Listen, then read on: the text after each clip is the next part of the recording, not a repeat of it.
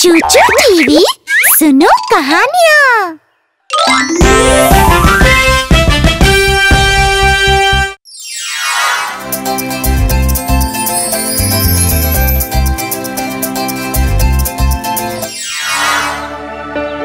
वो थी रविवार की दोपहर गर्मी के मौसम की।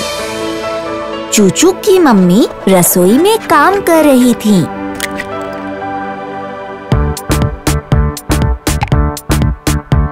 बच्चे खेल रहे थे और मज़े कर रहे थे! और बड़े लोग आराम कर रहे थे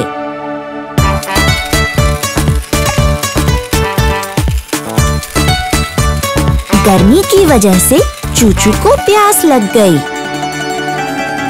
ओह, आज तो बहुत गर्मी है अच्छा होगा मैं थोड़ा ठंडा पानी ले आऊँ पीने के लिए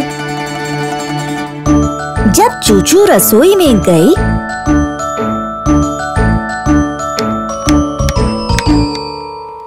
उसने अपनी मम्मी को वहाँ काम करते हुए देखा।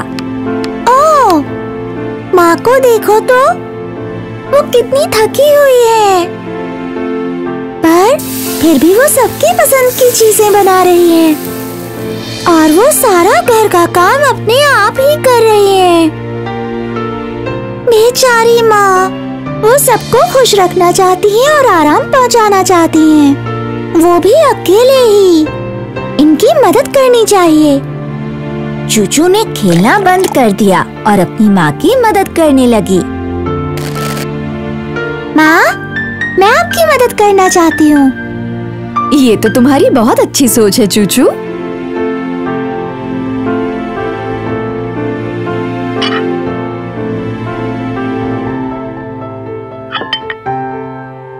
जब परिवार के बाकी लोगों ने चूचू को मदद करते देखा तो उन सबने भी मदद करने के बारे में सोचा।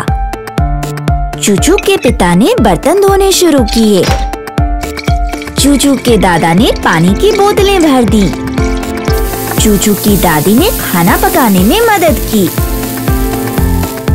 चाचा ने खाने की मेज सजा दी। छोटा बच्चा खाली नहीं रहना चाहता था। और वो भी मदद करने आ गया।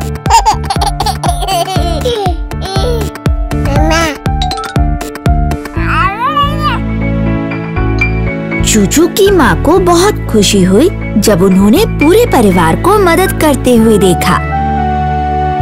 आप सबका धन्यवाद। आप सब कितने अच्छे हैं, आपने मेरी मदद की। कितनी खुशकिस्मत हूँ मैं, मुझे इतना प्यारा परिवार मिला। मैं सबको बहुत प्यार करती हूँ।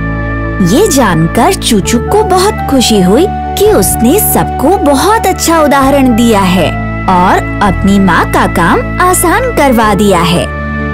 और हम भी आपको बहुत प्यार करते हैं, माँ।